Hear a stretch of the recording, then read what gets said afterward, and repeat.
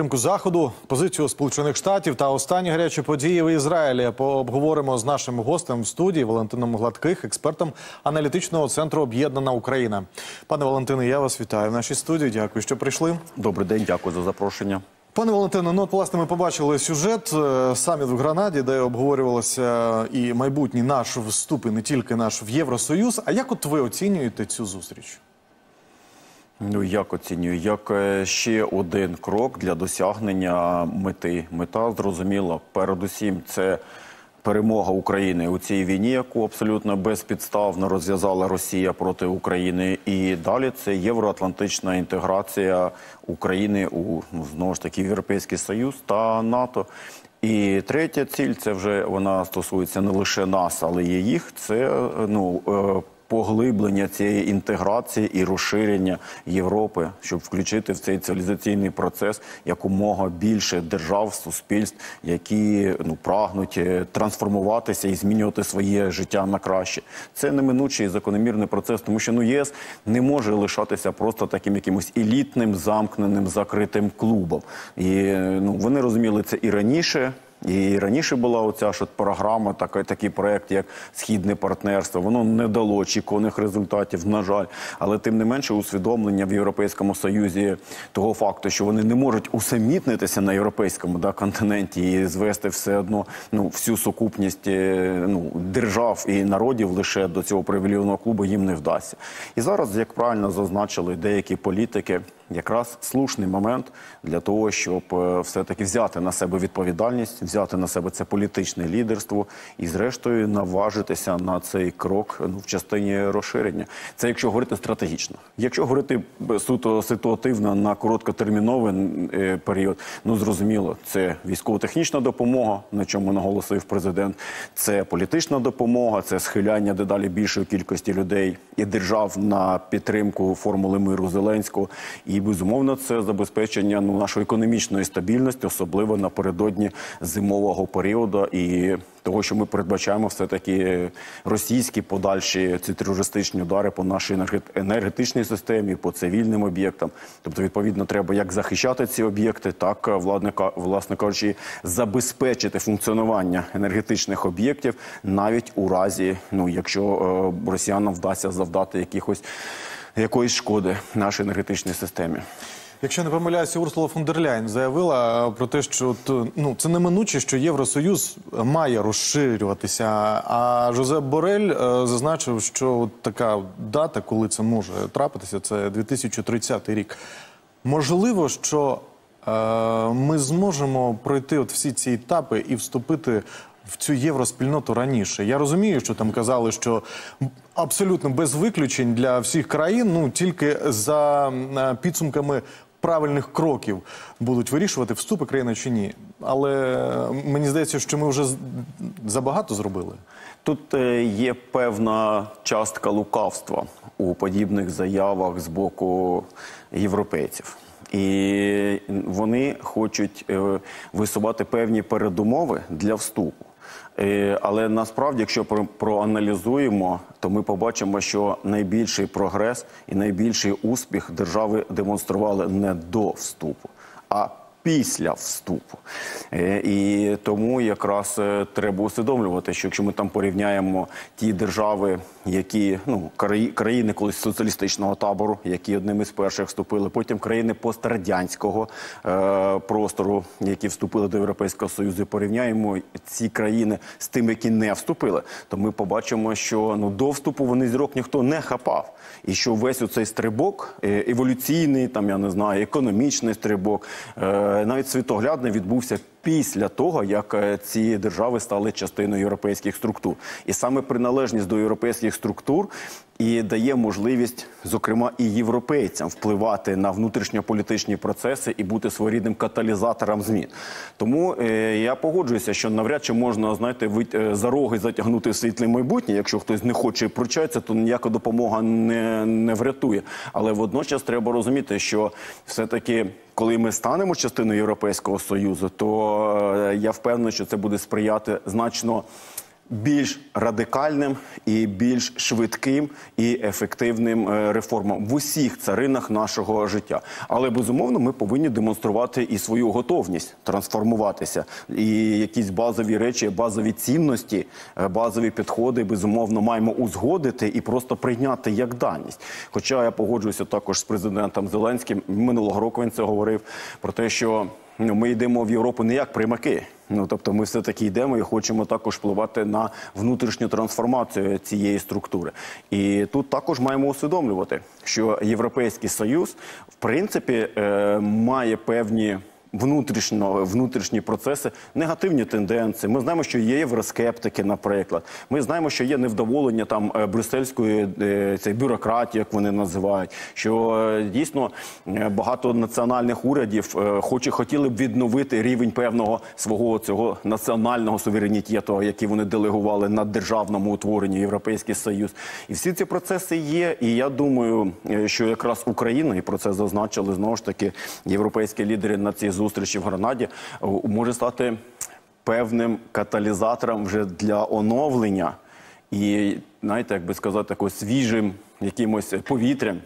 е, Для того щоб відбулася трансформація Європейського союзу, це нормальні еволюційні процеси. Просто я не хотів би, щоб з моїх слів зробили такий висновок, що там от європейський союз перебуває в глибокій кризі, а ми туди пнемося, і це все одно там корабель, який потопає. Ні, цей корабель не потопає. Це перебування в кризі. Це ну я би сказав так: вихід систем, вихід системи із стану гоміостазу або рівноваги. Це нормальний процес, і будь-яка система виходить під дію зовнішніх чинників і внутрішніх і намагається туди повернутися. І я схильний думати, що Україна якраз і може стати тим елементом, який дозволить у цій системі Європейського союзу. е, Знайти рівновагу на іншому е, щаблі свого власного розвитку, тобто це позитив і для України, але це не є тягар для європейців, що от вони роблять широкі жести. Якісь ні, для них це також є ну додатковий бонус. Це нова е, робоча сила, це нові ринки збуту, це е, нові е, виробничі потужності, це інтелектуальний кадровий потенціал. Тобто, це ну не треба дивитися так лінійно, що це їм буде щось коштувати. Це буде коштувати щось їм, це буде коштувати щось нам. Вони щось з цього отримують, ми щось з цього отримуємо. Але загалом. Ну, в середньотерміновій і в довготерміновій перспективі, безумовно, від цього виграють ну, всі. Я навіть не хочу казати вони і ми, бо ми всі ми. От ви перерахували чинники, які можуть стати нам на заваді е, під час вступу в Євросоюз, але ще є і уряди з відверто проросійською позицією. От наскільки вони будуть впливати? Ну, ми ж розуміємо, що ці уряди вони є частиною Європейського союзу, і основні торгівельні партнери. Цих е, держав є Європа, і безпеку їм гарантує е, НАТО. Тобто і їхні громадяни е, вчаться в європейських навчальних закладах, працюють в європейських компаніях, їздять на заробітки, якщо вже так говорити, ну до більш розвинених країн Європейського союзу. Тому я би не став драматизувати в цьому аспекті. Більш того, ну там от у нас дуже хибно деякі люди в принципі розуміють там про російськість. Тобто треба просто усвідомлювати, що ну деякі уряди, е, грубо кажучи, не виказують того рівня підтримки, е, який нам е, виказують інші держави, і що дійсно з певних е, європейських столиць лунають заяви, які ну є. На мій погляд, деструктивними на погляд багатьох європейських політиків, але на погляд тих, хто їх виголошує, є дискусійними. Тобто вони хочуть зробити щось предметом дискусії. Але насправді ж треба розуміти, що все одно от е, їхня навіть деструктивна позиція подекуди вона буде компенсуватися загальною позицією тієї структури, до якої вони приналежать. Мається на увазі Європейський Союз і НАТО. Тобто, чи може це е, ускладнити процес? Так, може ускладнити. Чи може це унеможливити процес? Ні, не може це унеможливити. Тобто, все одно це зазвичай є. Е, Внутрішньополітичної дискусії, або так сказав, ну не на національному рівні, а на європейському рівні. Подивіться, чим це зазвичай закінчується. Все зводиться до е, короткого меседжу, зрештою. Дайте гроші. Ну, тобто вони говорять, ми, зай- ми там будемо якусь позицію займати, а потім такий собі е, Європейський Союз, дайте грошей. Ну, Європейський Союз там дає гроші більше, менше, щось погоджується. І все, позиція міняється. Той же самий Фіцо зараз, да, який е, в, е, в Словаччині. Ну так він е, свого часу погодився на застосування санкцій проти Російської Федерації в 2014 році. Тобто риторика була одна, А практична діяльність була дещо інша, тому що треба вирішувати реальні проблеми. А реальні проблеми йому гроші дає не Російська Федерація. Гроші Словаччина отримує від Європейського Союзу. І багато привілеїв має від того, що є частиною Європейського Союзу. Це один момент. І другий момент. Навіть на загальнонаціональному рівні в всіх державах нема монолітної підтримки саме таких поглядів. І коли ми говоримо, що Фіцо виграв вибори в Словаччині, це неправда. Фіцо набрав лише більше голосів, ніж його опоненти. Але йому доведеться формувати коаліцію. А коли формуєш коаліцію, доводиться враховувати позицію партнерів по коаліції. І його партнери по коаліції мають значно більш стримані погляди, ніж він сам. Більше того, що е, все одно це все буде розгортатися в певному е, просторі, який є обмежений знову ж таки загальними поглядами Європейського Союзу. Тому я би не драматизував. Безмовно, ми будемо чути дуже багато контроверсійних заяв. Але я впевнений, що далі, е, ніж ці заяви, справа не піде.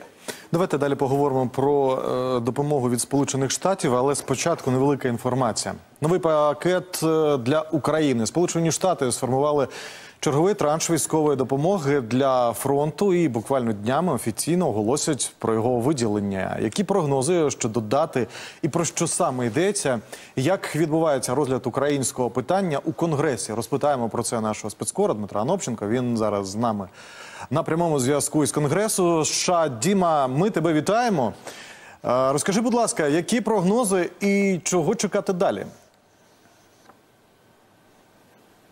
Ну, є прогнозів кілька. Прогноз щодо голосування тут в Конгресі дуже детально все розповім, бо говорив із помічниками конгресменів з українського кокусу, із групи підтримки України. І головний прогноз це те, що ми можемо вже чітко говорити, що буде таки буде новий транш військової допомоги Україні. Більше того, вже відома дата, і дата практично на 100%, бо 11 жовтня це якраз засідання Рамштайнської групи, яке цього разу відбудеться у Брюсселі. Ну і традиційно е, союзники у першу чергу Сполучені Штати не можуть приїжджати із порожніми руками.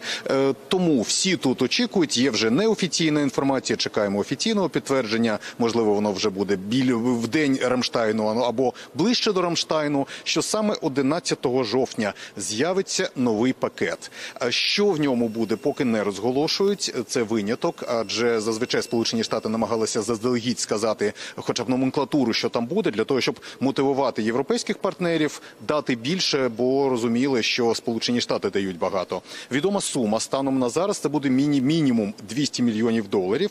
Ну і дивіться, те, що пояснює зараз американська адміністрація, що це буде два в одному. По-перше, зброя і боєприпаси, які тут і зараз потрібні на фронті. А нас запевнили, що весь перелік повністю погоджений між Пентагоном і Українським міністерством оборони. Тобто в цьому пакеті буде те, що потрібно тут і зараз на фронті. Ну а друге, це якраз меседж, меседж, який хоче дати американська адміністрація і самим американцям, і політикам тут в конгресі, і в першу чергу Росії та Україні, що навіть не зважаючи на цю бюджетну паузу, е, Сполучені Штати виділятимуть зброю. Ну і тут найважливіше питання, в якому я намагався особисто теж розібратися протягом найближчих днів. А які є резерви для того, щоб поки конгрес не проголосував за новий бюджет за допомогу Україні, е, якраз е, цю зброю фінансувати? Ну і ось з'явилися свіжі цифри від Пентагону, де станом на зараз стверджують, прорахували свої резерви, е, що є е, десь е, 7 мільярдів доларів. Е, Так, я знаю, що спочатку е, прорахунки десь були на 5,5, Ну зараз на минулому брифінгу генерала Райдера, речника Пентагону, якраз пролунала цифра 7. Е, Давайте послухаємо пряма мова, і далі я поясню. У нас є трохи більше 5 мільярдів доларів США. Я думаю, 5 мільярдів 400 мільйонів за програмою PDA, які залишаються доступними для України. У нас залишилося близько 1,6 мільярда на цілі відновлення вже витраченого. Як відомо, перенаправлення коштів це теж завжди варіант для термінових потреб. Але наразі, наскільки мені відомо, не було ухвалено рішень щодо перенаправлення бюджетних грошей задля підтримки України.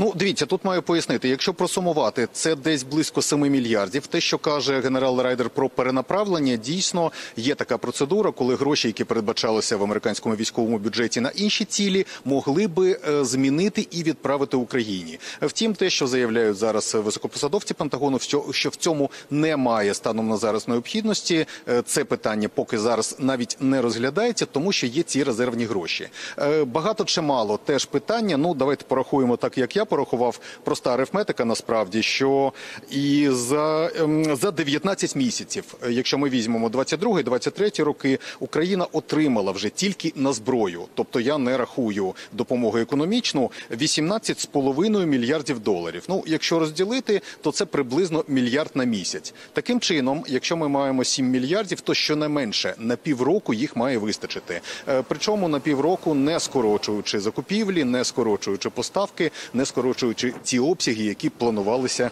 заздалегідь, не знижуючи темпи поставок. Ну а паралельно конгрес же все одно голосуватиме за бюджет.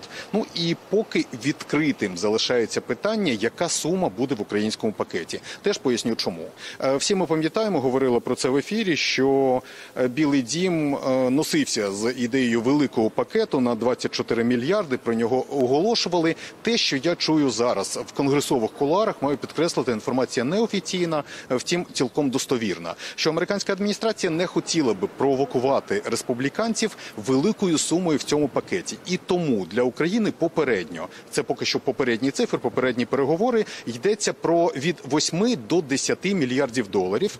Про короткий пакет, який би закрив потреби до кінця цього року. Втім, теж маю пояснити одну деталь, коли говорили про 24 мільярди, то насправді це пакет тільки називався український. Там передбачалися гроші і на допомогу країнам-партнерам, і гроші для Пентагону на поповнення своїх запасів. Ну і те, що мені пояснювали в дипломатичних колах, що насправді Україна з цього пакету мала би отримати десь від 12 до 14 мільярдів. Таким чином, якщо зараз Білий Дім попросить 10 для України, то у порівнянні з тим великим пакетом е, це в принципі не така і велика різниця. Український пакет е, не означав би е, навіть за назвою, що всі гроші для Києва.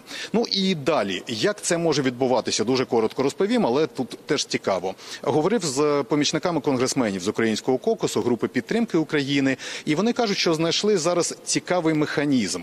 Вони хотіли би об'єднати в один пакет питання, яке дуже болить республіканцям. Це фінансування укріплення кордонів. Бо ви бачите теж, я думаю, в новинах, яка зараз ситуація із напливом мігрантів, і республіканці просять грошей для того, щоб посилити кордони. Ну і це те, що хотіли би їхні виборці. І ось зараз. Проукраїнські конгресмени е, і в Сенаті, і в Палаті представників. Я це чую від різних людей. Хотіли би об'єднати це в один пакет і голосувати одним пакетом. Так, укріплення кордонів і так допомога Україні.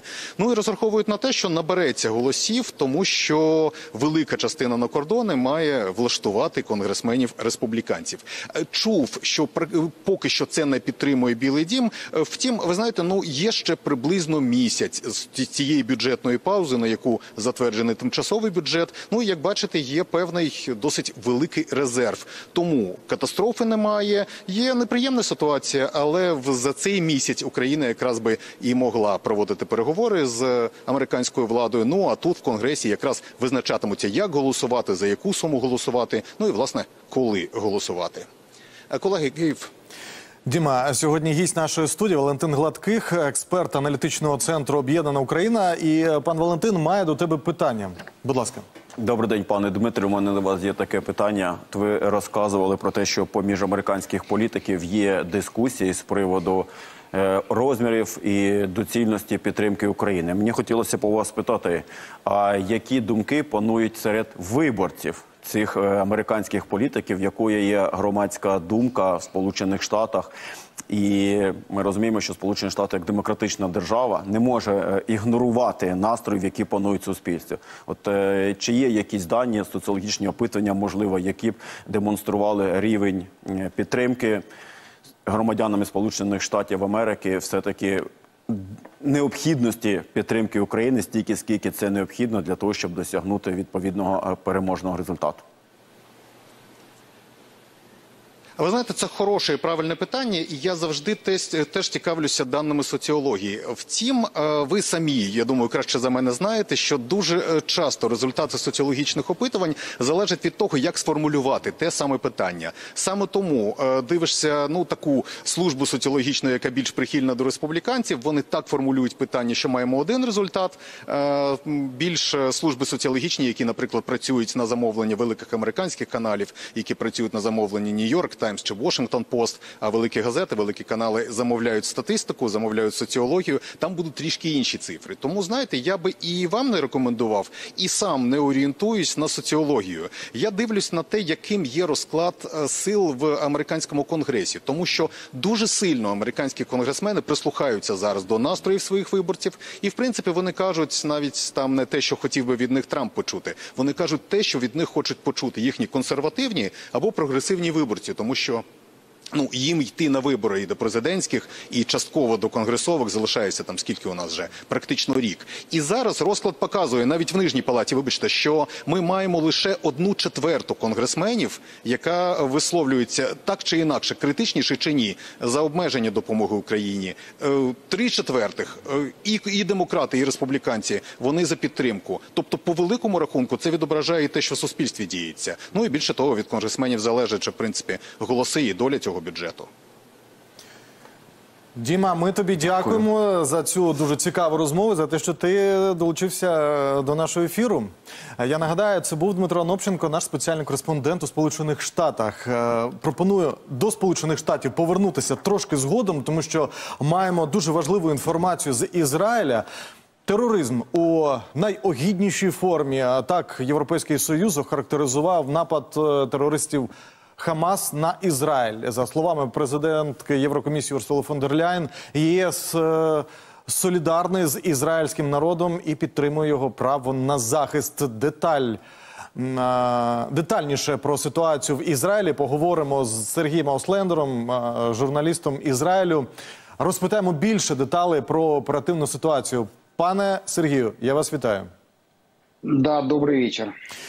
Пане Сергію, розкажіть, будь ласка, що відомо на цей момент, е, що відбувається зараз в вашій країні? Ну, в данный момент события еще в развитии, там еще продолжаются в некоторых городах зачистка такая активная, да, ищут террористов. Есть несколько мест, где террористы взяли заложников и с ними там забаррикадировались, там сейчас они блокированы, и с ними идут там разговоры, переговоры какие-то по поводу того, собственно, э, что дальше будет. Есть заложники, которых увели в Газу, это израильтяне, там, в том числе женщины, там говорили даже о детях, но это пока не подтверждается. А Сколько их вообще неизвестно совершенно. Что касается жертв, ну вот последнее, что нас давали, это наша национальная медицинская служба, это сотня убитых и около тысячи раненых, но, вероятно, это число увеличится. Там много военных тоже, потому что там несколько баз подверглись одновременному такому нападению. Э, Короче говоря, у нас тут вообще кошмар и ужас, и никогда такого не было, и просто вообще не- непонятно даже, как про это рассказывать. Пане Сергію, прем'єр-міністр Ізраїлю Нетаньяху заявив, що країна знаходиться зараз у війні. І цитую його слова: завдання виходять е, за межі військової операції і віддав наказ військовим зачистити прикордонні з Палестиною території. Що це може означати на практиці? Де буде проходити ось ця лінія фронту? Пока непонятно. Сейчас для начала нужно зачистить свою территорию до границы с Газой, да, убедиться, что террористов не осталось. Там прорыв был очень масштабный. Э, Что касается э, самого сектора газа, ну, судя по всему, принято принципиальное решение о том, чтобы проводить там наземную операцию. Но как она будет проводиться, там, по какому принципу, тоже пока не очень ясно. Сейчас идет призыв резервистов. Вот очень много людей призвали, такой масштабный, давно такого тоже не было. Границы с газой стягиваются э, армейские части, там бронетехника, артиллерия. Как оно там пойдет, тоже совершенно непонятно. Потому что, говорю еще раз, события в развитии, и вопрос еще остается открытым с севером. То есть, если Хизбалла подключится к этому делу, это будет уже совершенно другой расклад, и там последствия вообще никак не просчитываются. Я сьогодні спілкувався з експертами з Ізраїлю, і от вони кажуть, що навіть найкращі розвідки світу все одно е- не можуть все знати і все передбачити. А як от так от сталося, що розвідка Ізраїлю, яка є однією з найкращих у світі, не спрацювала на випередження? Понятия не имею. Это вопрос очень большой. Почему так проспали вот такую вот подготовку? Это спланированная операция. Это совершенно уже очевидно, что это спланированная операция. То есть под прикрытием массированного ракетного обстрела они осуществили прорыв На территорию Израиля. Цель была именно такая – убить как можно больше людей, захватить как можно больше заложников. Они этого вполне достигли, этой цели. То есть э, на какое-то время мы утратили контроль над несколькими населенными пунктами вообще, они их полностью контролировали. То есть там тела убитых лежали буквально на улицах. Ну, короче, пока не очень понятно, как, как умудрились проспать такую масштабную вот, э, операцию, которая ну, планировалась, очевидно, месяцы как минимум. Так що на этот вопрос ще предстоїть ответить. А як ви оцінюєте взагалі от реакцію влади і її комунікацію з громадянами? М, Плохо оцениваю, потому что в течение нескольких часов вообще не было никаких там обращений. Да, собственно, до сих пор не было обращения к нации, насколько я знаю. Вот, э, и была очевидна такая растерянность во власти в первые часы. Потом, как обычно, собрались, мы мобилизовались, начали это все дело ликвидировать, но б- было ощущение такой растерянности, на мой взгляд. Дії Хамасу вже підтримав Іран. Е, Як ви вважаєте, чого чекати далі від цієї країни? Это большой вопрос. Это вопрос на миллион долларов. Коллеги, я прошу прощения, у меня, меня вызывают в эфир, я должен отключить. Дякую вам, пане Сергію. Нагадаю, це був Сергій Ауслендер, е, журналіст з Ізраїлю про оперативну ситуацію в країні. Пане Валентине, ну от власне е, Сполучені Штати оголосили нам про- допомогу в Ізраїлі, якому теж Сполучені Штати допомагають е, і військово. Як вони далі будуть діяти, Сполучені Штати? Тому що я думаю, що доведеться допомагати і Ізраїлю. Так Ізраїль так є найбільшим реципієнтом військово-технічної допомоги США. Ну, Штати зацікавлені в тому, щоб зберегти стабільність, прогнозованість і наявний світовий порядок. І, ну, і, і вони є одним із наріжних каменів цього порядку. Чи вистачить у них можливостей? Вистачить. Вистачить. От е, якщо ну ви ж розумієте, що порівняти там військово-технічний науковий потенціал, людський потенціал Сполучених Штатів Америки і тих, хто на сьогоднішній день навіть потенційно може об'єднатися, ну це неспівмірні будуть е, ну показники, неспівмірні будуть е, ну параметри. Ну крім того ж, ми говоримо про допомогу. Тобто ж Ізраїль також є достатньо потужною в військовому плані держави, і вони безумовно візьмуть ситуацію під контроль, навіть якщо втрутиться е, якась ще сторона, грубо кажучи, в цей конфлікт. Та сама Хезбола. Хоча наскільки я розумію, і там бачу по нинішнім тенденціям. Ну, навряд чи вони в цьому зацікавлені, тому що знову ж таки це означає, що вийдуть із зони комфорту, якщо так можна сказати. Можуть в результаті втратити свою владу навіть е, в Лівані тому ж самому. Тобто я не виключаю, що хтось взагалі може зливати Палестину. Можливо, хтось надихнувся іншою операцією, яка була не так давно проведена на Кавказі, і можливо такий же самий сценарій можна буде реалізувати зараз і е, в Ізраїлі. Ну але побачимо. Тобто я, я ну точно ну якби не маю сумнівів. Як це завершиться? Єдине, що те, що ви запитували, там як можна було проспати. Ну, да, так це нормально. І от, знаєте, як, е, коли пам'ятаю, Малюка призначали на голову СБУ, він говорив про те, що хоче перетворити СБУ на український аналог, аналог Масади. Я думаю, що після цього, що сталося, мабуть, вже перевершили. Ну, тому що в нинішньому вигляді, я думаю, що ну, значно ефективніше діють наші спецпризначенці, ніж ті люди, які мали в Ізраїлі відповідати за ну, безпеку, національну безпеку. Ми ж розуміємо, наскільки поширено є агентурна мережа, наприклад. І все одно десь ну це бюрократія. Просто треба розуміти, що навіть ці структури вони все одно є бюрократизованими. І навіть в Ізраїлі це також є відповідь частково і для нас, для українців, там чому щось сталося, чому сталося так або не інакше.